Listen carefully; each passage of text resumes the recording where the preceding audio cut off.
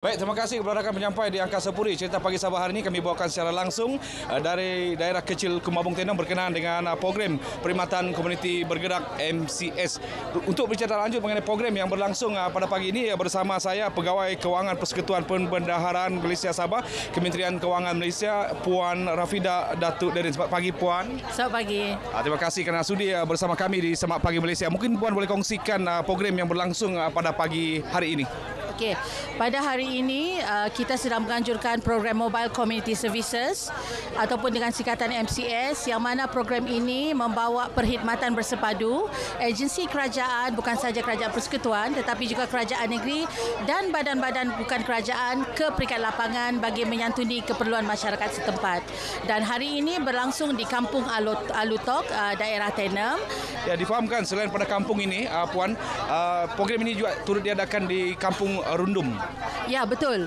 Kita telah melaksanakan program seumpama ini di Kampung Rundum dan uh, telah menerima kunjungan lebih kurang hampir keseluruhan penduduk setempat, lebih kurang 100 orang dengan kehadiran 10 agensi yang terpilih saja. Dan di sinilah kita membawa perkhidmatan-perkhidmatan terkini yang perlu dinikmati oleh masyarakat khususnya dalam pendaftaran padu.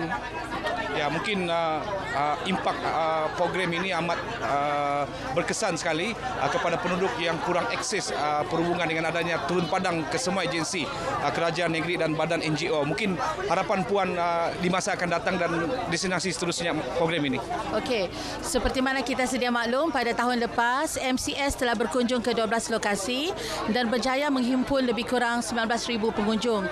Dan pada tahun ini kita telah bermula seawal bulan Januari dan sehingga hari ini ini adalah destinasi kelima yang pada masa ini dijangkakan dapat mengumpul keseluruhan cumulatively bagi lima lokasi ini lebih kurang 6,000 lebih pengunjung.